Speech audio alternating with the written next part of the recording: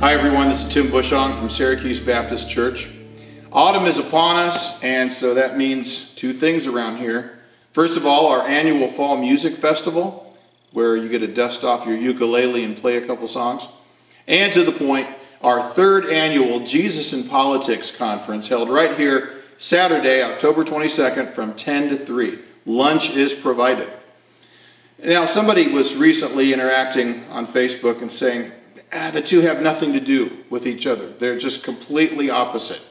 To which I say, I would encourage you to watch the videos from the last two years, or better yet, attend this year in person and see what the hullabaloo is about. We have to answer these questions. What is the Christian's relationship to the civil magistrate? And do Christians get to influence society and culture around them? And some people are even asking, should we do such a thing? The lineup is the same this year as last. We have John Harris, the host of the Conversations That Matter podcast, dear friend of mine, good guy. Can't wait to hear him.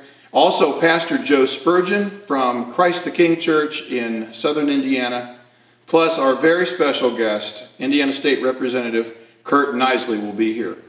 I'll be speaking as well, and this year the MC duties will fall to our own assistant pastor, Kevin Minette.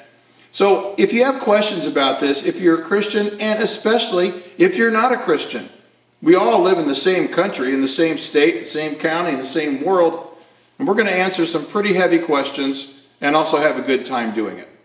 So I invite you to come October 22nd, Saturday from 10 to 3, free lunch. God bless.